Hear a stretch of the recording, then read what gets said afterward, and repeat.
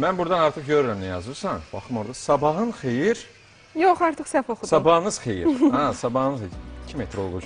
Gözlərim zəifləyib. Gününüz uğurlu olsun, olsun. və iddialı. Ver bir mənə baxın, ver mən çox qəşəng yazdım sana. Xəttin qəşəng, qəşəng. Biraz tələsi oldu üzürlüsən. Çox qəşəng xəttin var. Ə, elə kopya mənə oxşuyur, necə deyirlər. Əslində ə, bilirsən xətt əslində insanın xarakterini ifadə eləyir, yazı şəkli, onların əyriliyi, düzlüyü, amma bundan əlavə xəttatlar var hansı ki, yazılarında həqiqətən o görünüş hər şeyi ifadə edə bilir. Demək istəyirsən ki, sənin qəşəng xəttin varsa, demək qəşəng xasiyyətin də var. Yox, elə demirlər. Bəs, bəs necə? Bilmirəm, onu yəni ə, xarakterə uyğun olaraq yazının şəkli, məsəl üçün ə, məqsəd yönlüsənsə, diqqətçisənsə, bunlar ifadə olunur. Yəni yaxşı ya da pis biri olduğunu deyə bilmirlər yəqin. Bu artıq individual ya məsələdir. Amma ə, könül düz deyir. Əslində o yazının xəttə uyğun, onun gedişatlarına uyğun müəyyən bir təhlil aparmaq olar, psixoloji təhlil. Nə cür adamdır, istəkləri nədir, beynində nələr dolaşır. Bunu isə kamil və arif insanlar bilir. Biz isə sadəcə xəttin gözəlliyinə diqqət və nəzər verənlərdənik. Baxaq sürətlə.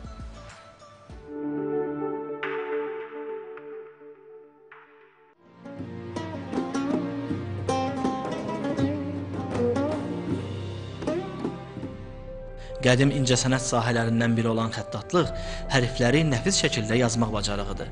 Burada əşya və lövhə üzərində yüksək sənət nümunələri yaradılır. Tarixi əsrlərlə ölçülən bu sənəti indi də yaşadanlar var. Müasir dövrdə kalliqrafiya bəzi dini mövzularda, xüsusi sənədlərdə, dəvətnamələrdə, tarixi əhəmiyyətli yazılarda istifadə edilir. 30 ildən artıqdır ki, bu işlə məşğul olan Tahir Ələkbərov xəttatlıqda köhnə ənənələri yaşadır. Müsahibim deyir ki, hazırda kompüter qrafikası ilə sürətli və daha dəqiq kalliqrafi nümunələri hazırlanır. Ancaq bu, xəttat tərəfindən yaradılan işlərlə müqayisə oluna bilməz. Bu xəttin yəni əsas özəlliyi ondadır ki, bu bir dəfəyə yazılır.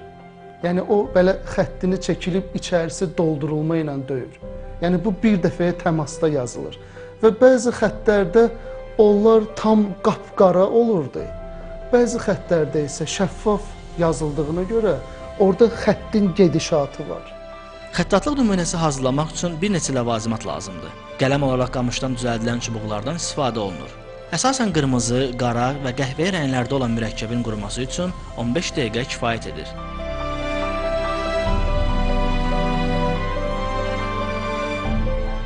Öz quruluşuna görə əsas iki yerə ayrılan bu yazı növünün düz və sınıq dizgilərdən ibarət olan kufi xətti əvvəllər nöqtəsiz yazılsa da, sonralar daha da təkmilləşdirilib. Digər xəttlərlə müqayisədə nəsr xətti isə özünün sadəliyi, rahat oxunuşu və asan yazılışı ilə diqqəti cəlb edir.